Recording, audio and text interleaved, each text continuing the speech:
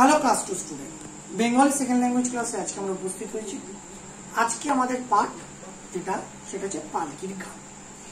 পালকি গান কবিতাটি আমরা আগের দিন পাঠ করেছি এবং কবি পরিচিতি নিয়ে আলোচনা করেছি। আজকে আমরা কবিতাটি আরেকবার পড়ব এবং তার পাশাপাশি কবিতাটির প্রতিটি ব্যাখ্যা আমরা একটু দেখে নেব। কবিতাটি আমি একটু পড়ছি, তোমরা একটু শোনো। পালকির গান সত্যেন্দ্রনাথ দত্ত। পালকি চলে পালকি চলে গগনতলে আগুন জ্বলে। স্তব্ধ গায়ে আদুল গায়ে, যাচ্ছে কারা রৌদ্রে সারা। ময়রা মুদি, চক্ষু মুদি, পাটায় বসে ঢুলছে কোষে। দুধের চাচি শুষছে মাছি, উঠছে কত মন বনিয়ে, আসছে কারা হনহনিয়ে। হাটের শেষে রুক্ষ বেশে, ঠিক দুপুরে ধায় হাটুরে কুকুরগুলো শুকছে ধুলো, ধুকছে কেহ ক্লান্ত দেহ ঢুকছে গরু, দোকান ঘরে, আমের গন্ধে আমোদ করে। অর্থাৎ কবিতাটিতে একটি তপ্ত দুপুর, অর্থাৎ গ্রীষ্মের দুপুরের কথা বলা হয়েছে। যে দুপুরবেলা একদল মানুষ, যারা পালকি বাহক, তারা পালকি বয়ে নিয়ে যাচ্ছে এবং সেই পালকি যখন যাচ্ছে, সেই পালকি বয়ে যাওয়ার, পালকি নিয়ে যাওয়ার সময় চারপাশের যে পরিবেশ, চারপাশের যে পরিস্থিতি, তাই নিয়ে কবি সেটাকে তুলে ধরেছে কি বলছেন? প্রথম বলছেন গগনতলে আগুন জ্বলে, অর্থাৎ আকাশে যেন আগুনের ছটা, রোদের এত ছটা। চারপাশে স্তব্ধ গাঁ, যেন চুপচাপ, স্তব্ধ মানে চুপচাপ, চপ মানে গ্রামে আদুল গায়ে, অর্থাৎ খালি গায়ে যাচ্ছে কারা? কারা যাচ্ছে? রৌদ্রের সারা, এই রৌদ্রের মধ্যে দিয়ে কারা যাচ্ছে? ময়রা মুদি, চক্ষু মুদি। ময়রা মুদি সবাই যেন চোখ ঢুলছে। এই দুপুরবেলা, দুপুরের গরম রোদে সবার চোখে ঘুমু ঘুমু ভাব ঢুলছে। পাটায় বসে ঢুলছে কোষে। তারা তাদের দোকানে যে পাটা যেখানে বসে তারা বিক্রি বাটরা করে, সেখানে বসে যেন তারা ঢুলছে। দুধের চাচির চুষছে মাছি।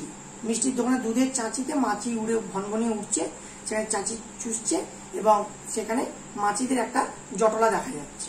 উঠছে কত ভন ভনিয়ে কিছু আবার উড়ে উড়ে যাচ্ছে। আসছে কারা হন হনিয়ে জোরে জোরে কারা হন্টন হাঁটতে হাঁটতে আসছে। হাটের শেষে রুক্ষ বেশে, হাটটা ভেঙে গেছে দুবেলার হাট। সেই সময় রুক্ষ বেশ সবাই ক্লান্ত, অবসন্ন, গ্রীষ্মের দুপুরে যেরকম হয়, ঠিক সেই রকম। ঠিক দুপুরে, দুপুরবেলা সবাই যেন হাট থেকে ফিরছে, হাঁটু থেকে, হাঁটু, হাট থেকে ফিরে আসছে, বাড়ির দিকে যাচ্ছে সবাই। কুকুরগুলো শুকছে ধুলো, কুকুরগুলো এদিক ওদিক শুকছে ধুলো শুকছে ধুকছে কেহ, ক্লান্ত দেহ, সবাই যেন ধুকছে, ক্লান্ত দেহ, অবসন্ন, পারছে না, এই রোদের প্রখর তাপ তার মধ্যে। আর এদিকে কি? ঢুকছে গরু দোকান ঘরে। গরু যে দেখেছে দোকান ঘর ফাঁকা, ঢুলছে দোকানদার মালিক, সেই দোকান ঘরের মধ্যে গরু ঢুকছে।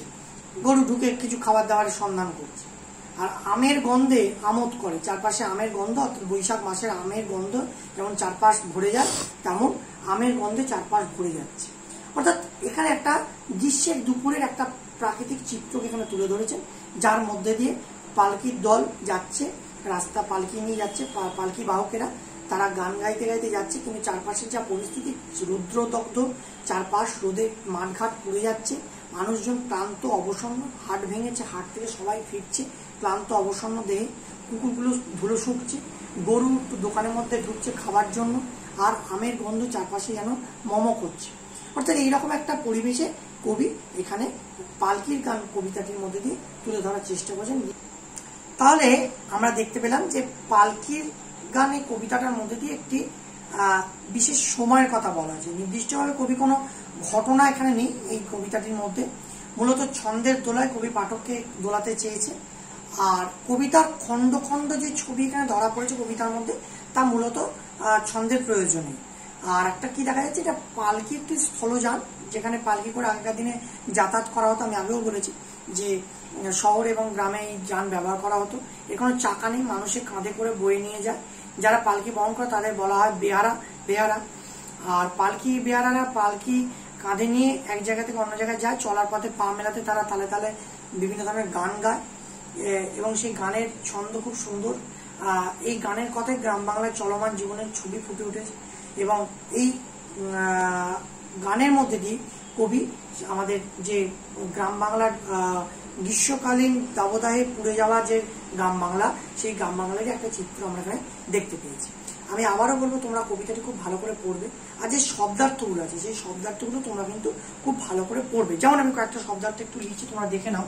যেমন গগন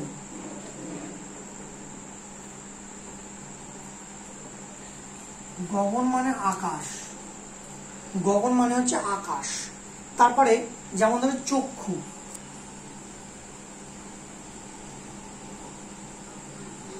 চক্ষু মানে চোখ। চক্ষু মানে চোখ।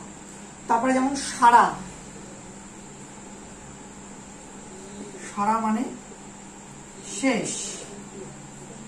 সারা মানে শেষ। তারপরে যেমন হচ্ছে তোমার আমোদ। আমোদ। মানে আনন্দ।